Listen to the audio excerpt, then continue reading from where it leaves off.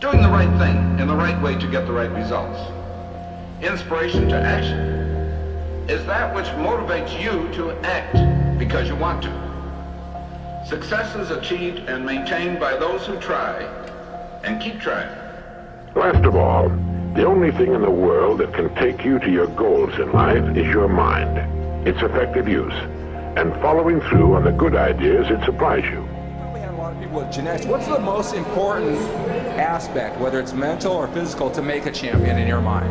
Mental. Because if you don't have that mental attitude, you'll never make it because it's so hard. A lot of people give into it and then they quit because it's not focused here. You got to have it there. Be enthusiastic about life. Man, you only got one life. Take advantage of it. Enjoy it. It's a matter of use it or lose it. If you want to make up your mind that you are a soldier and this life is a battlefield, you can win it. Every morning, this is the thing. Every day is the battle. Anything in life is possible.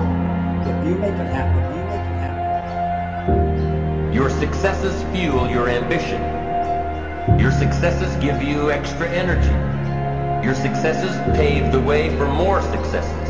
The disciplines that were so difficult in the beginning, the disciplines that got you going, are now part of your philosophy. The essence of life is growth. The essence of life is growth, to do the best you can. The more you do, the more you get. The more you do, the more you get. The more you do, the more you get.